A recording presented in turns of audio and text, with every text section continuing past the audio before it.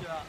えーこんにちは諏訪地方初めての、えーまあ、休日専門のですね、えー、託児所の、えーひえー、と日だまり、ね、どちょっとロケーション、場所のちょっとご説明ね。はいここはあの下諏訪町というところです。はい下諏訪町というところで、ここはあの国道20号線が通ってますね。はい国道20号線からだいたい何メートル20メートルぐらいかな。はいそうですねで入っていただくと,、えー、とこちらになりますね、こちらの。でで駐車場もあのここ止めていただいて結構ですので、はいねお子さん預けるときにね。いうことで、ちょっと入ってみましょう。はい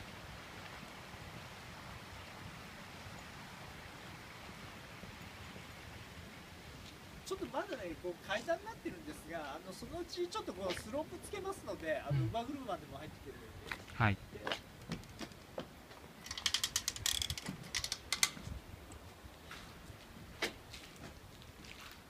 ここエントランスです。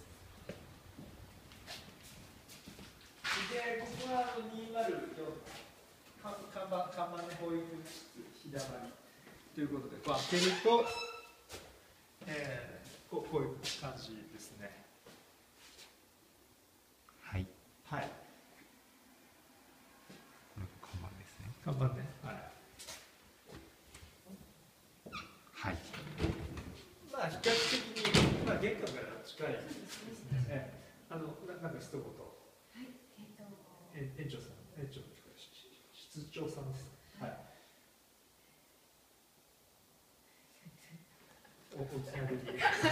ここまで切って切れないですよ 所長一言お願いします。あの、お部屋今、あの、整えています。えっ、と、下諏訪とても、あの。来やすい場所だと思いますので。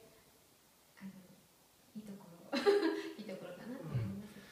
あのまあエリア的におまああのここら辺しかないので、えっ、と岡谷えっ、と下諏訪、まあ諏訪の方うん。来ていただいて、あのちょうどいいんじゃないかなと思いますので、ええはい。そういったところで、でよろしくお願いします。ありがとうございます